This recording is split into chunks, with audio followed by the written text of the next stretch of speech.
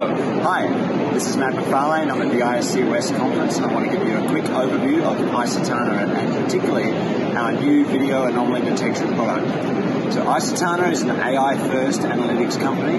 What we do is we build software that plugs into existing camera networks and takes an RTSP stream, analyzes the streams from each individual camera in your network, and it creates a model of understanding over the course of 24 hours. At the conclusion of that 24-hour training period, it goes into monitoring mode and starts to pick up anomalous and unusual events in real time. We use a lovely combination of a series of rules which are based upon where is somebody in a scene, how many people are there, uh, where are the cars, where are the where are the people moving, as well as some neural network trained uh, capabilities that look for people who have fallen over fire and smoke as examples.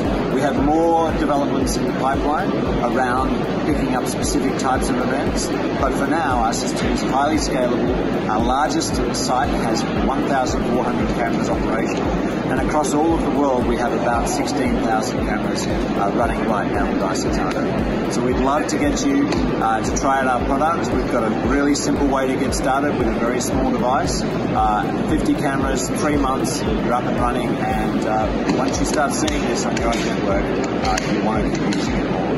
Hope to hear from you soon.